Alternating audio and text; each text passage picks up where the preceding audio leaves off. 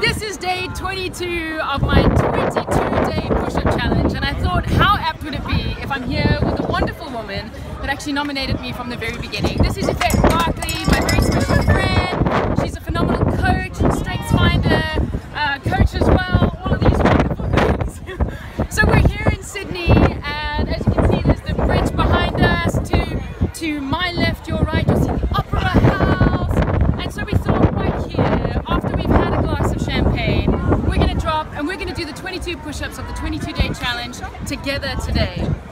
Um, what we're doing, so I've spoken about this a lot and, and you've already finished your 22 days. So what, can you tell everybody what this is actually all about? So this is about raising awareness for the mental trauma that veterans go through. So globally, I don't know if it's a global statistic it's an American statistic, but 22 veterans per day commit suicide from post-traumatic stress syndrome uh, disorder, from basically the stuff that they're put through and they come back and they can't get out of their head and they think that suicide's the only way. So doing push-ups is not going to help that, but doing push-ups, we get talking about it, you get talking about it, hopefully people that nominate each other are going to talk about it and we're going to hopefully reach out to those that need it most. Absolutely. All right, so, to, so, so today is the final day and I thought who better to nominate than a woman who has summited Mount Everest. She not only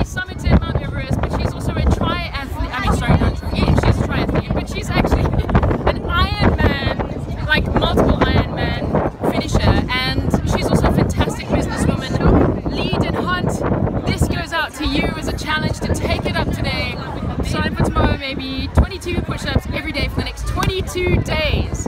Right. Awesome. Are you ready? Are you ready? Okay. Here we go.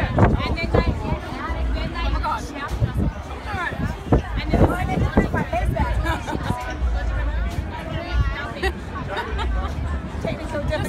Oh